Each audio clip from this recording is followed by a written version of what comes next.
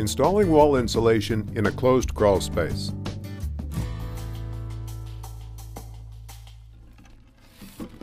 The insulation installation sequence depends on the type of insulation selected.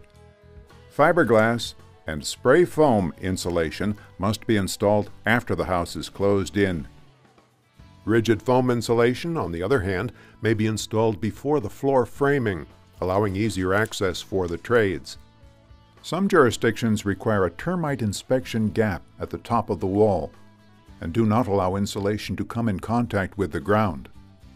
Rigid foam board insulation is commonly installed on the interior, from the top of the wall down to the footer or crawl space floor. Rigid insulation is attached using power-driven masonry nails with cap washers every 2 feet vertically and every 4 feet horizontally, or as required by the manufacturer's instructions.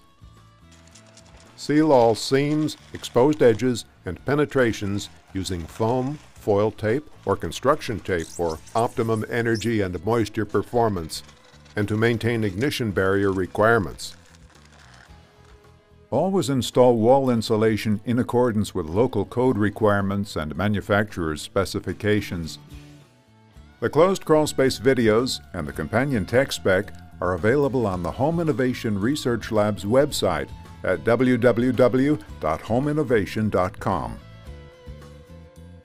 The development of these videos and the companion tech spec was supported in part by the Southern Forest Products Association.